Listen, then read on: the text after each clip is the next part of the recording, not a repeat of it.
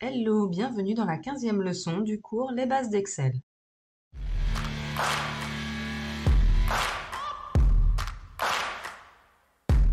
Dans cette leçon, nous allons aborder les formules produit, moyenne, min, max, NB et NBval.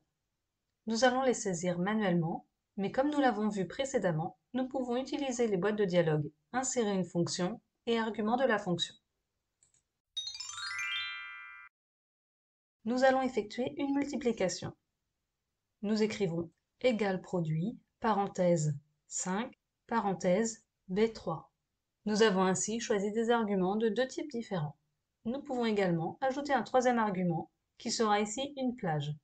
Donc, point virgule, C2 de point C4. Pour effectuer une moyenne, nous pouvons, comme pour chacune des formules, choisir pour argument un nombre, la référence d'une cellule ou les références d'une plage de cellules. Nous pouvons également effectuer une moyenne automatique en cliquant sous le menu Somme automatique, puis choisir Moyenne.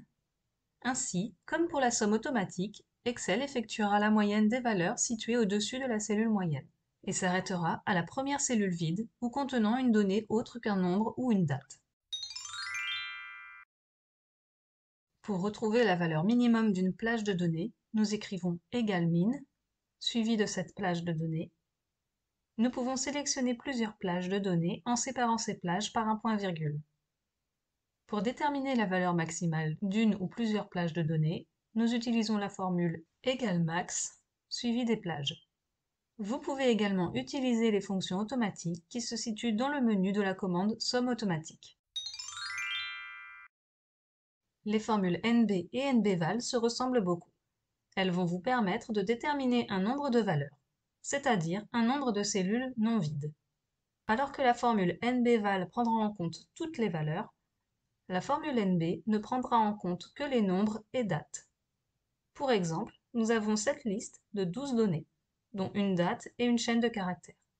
Nous écrivons la première formule, égale NB, notre plage, puis notre seconde formule, égale NBval, notre plage. La formule NBval détermine bien 12 éléments, alors que la formule NB nous donne un résultat de 11.